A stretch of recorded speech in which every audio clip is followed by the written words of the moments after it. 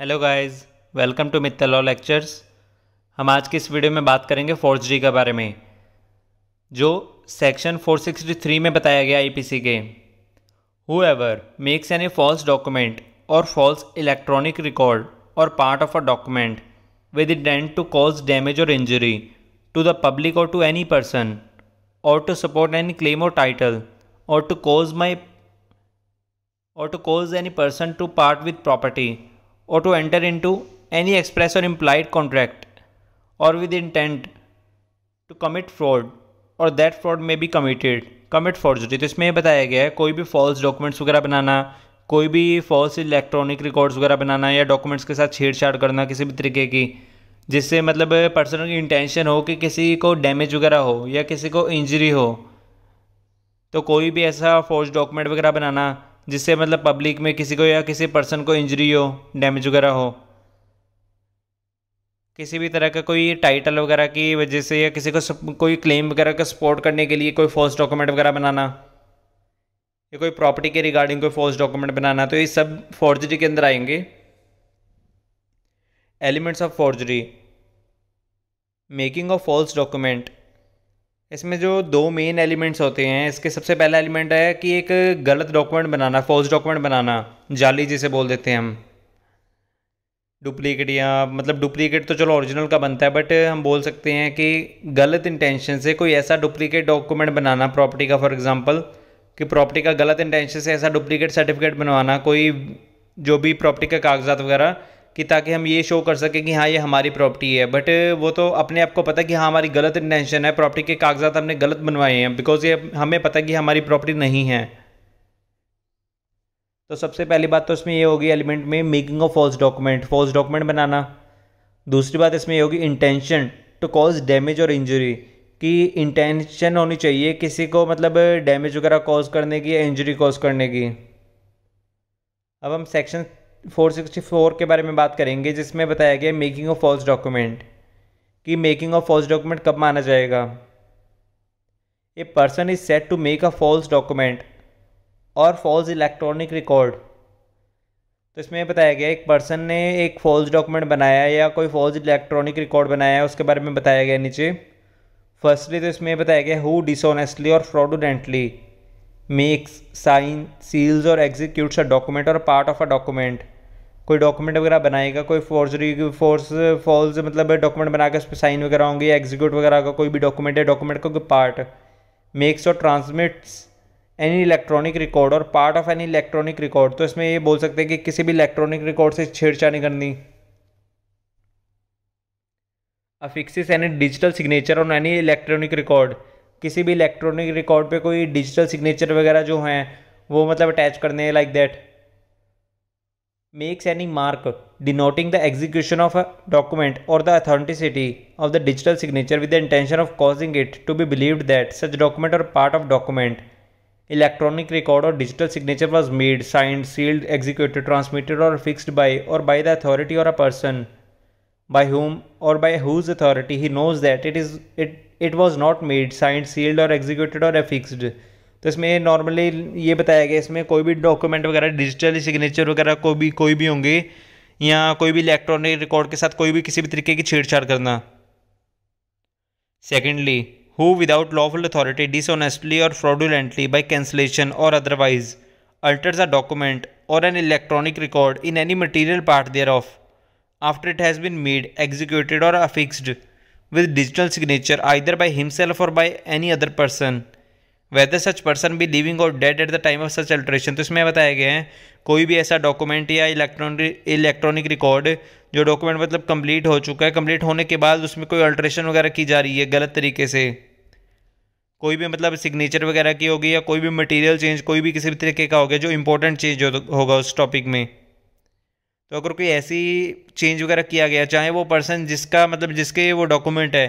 चाहे वो person living है या डेड हो चुका है फिर भी अगर कोई भी अल्ट्रेशन वगैरह की जा रही है तो वो ये मानकर चला जाएगा कि हाँ फॉल्स डॉक्यूमेंट बनाया जा रहा है और उसको फोर्जरी के केस में अंदर किया जा सकता है। Thirdly who dishonestly or fraudulently causes any person sign seal execute or alter document or an electronic record or to affix his digital signature on any electronic record, knowing that such person by reason of unsoundness of mind or intoxication cannot or that by person of that by reason of deception practiced upon him he does not know the contents of the document or electronic record or the nature of alteration तो इसमें बताया गया है, कोई भी ऐसे fraudulently या dishonestly तरीके से किसी पर्सन को कोज करना है उसके साइन वगैरह या सील वगैरह लगाना या किसी भी डॉक्यूमेंट या किसी भी इलेक्ट्रॉनिक रिकॉर्ड में कोई मतलब डिजिटल सिग्नेचर वगैरह चिपका देना साथ में या कोई डॉक्यूमेंट अल्टर कर देना और कोई वो ऐसे पर्सन के साथ किया जा रहा है जो पर्सन अनसाउंड अनसाउंड माइंड का है, या इंटॉक्सिकेशन मतलब नशे वगैरह में है उस टाइम पे, या कोई भी ऐसा रीज़न वगैरह हो सकता है जब कोई पर्सन समझने सक मतलब उस डॉक्यूमेंट को समझने की शक्ति नहीं रखता एबल नहीं होता उस डॉक्यूमेंट को समझने में या उसको जो भी उसमें लैंग्वेज लिखी है उसके वर्डिंग समझने के लिए तो ये मानकर चला जाएगा। अगर ऐसे कोई डॉक्यूमेंट में अल्ट्रेशन वगैरह की जा रही है फ्रॉडुलेंटली डिसऑनेस्टली तरीके से, बेईमानी के तरीके से, गलत इरादे से तो वो फोर्जरी के लिए लाइबल माना जाएगा, वो person accused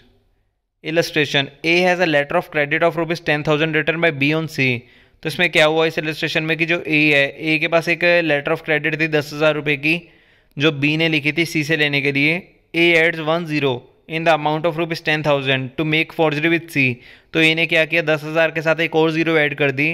और जो मतलब सी के साथ धोखाधड़ी करने के लिए and makes the amount of rupees one lakh for the intention to make C believe that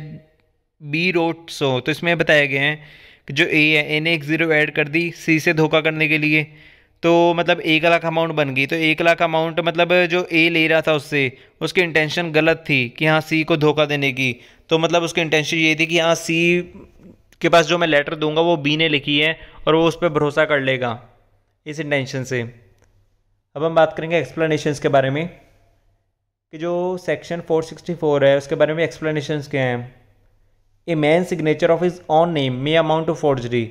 तो जो एक पर्सन है, उसके अपने सिग्नेचर भी, अपने नाम के साथ अपने सिग्नेचर भी, उसके फॉर्जरी के लिए अमाउंट फॉर्जरी माने जा सकते हैं। फॉर एग्ज़ाम्पल हम बात कर देते हैं, इसमें कोई एक ए और B A B and C हैं। ए ने क्या किया? ए के पास प्रॉपर्टी है, उसने अपनी प्रॉपर्टी बी को सेल कर दी। और सेल करने के बाद उसकी इंटेंशन क्या थी? गलत। तो उसने सी के नाम पे मतलब बोल देते हैं ना कि न्यू न्यूली मतलब कॉन्ट्रैक्ट करा है बट उस पर डेट जो है डेट सेल के छः महीने पहले की डाल दी। सेल होने से छः महीने पहले की।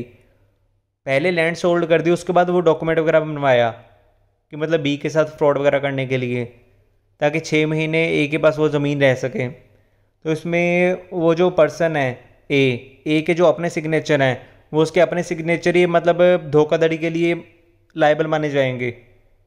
बिकॉज़ सो जो लैंड है लैंड सेल करने के बाद उसने कॉन्ट्रैक्ट किया था। बट उस पर जो डेट है डेट छः महीने पहले की डाल दी।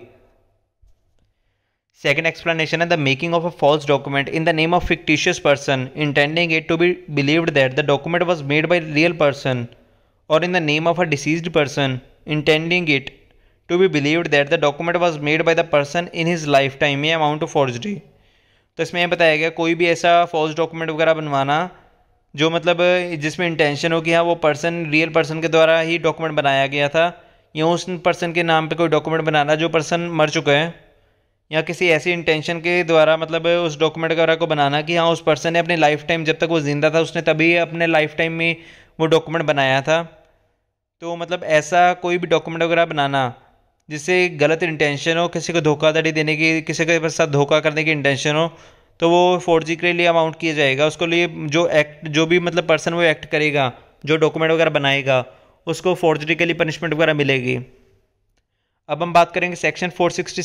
four sixty five के बारे में, जिसमें बताया गया कि फोर्जरी के लिए पनिशमेंट क्या होगी। अगर कोई फोर्जरी का ऑफेंस करता है तो।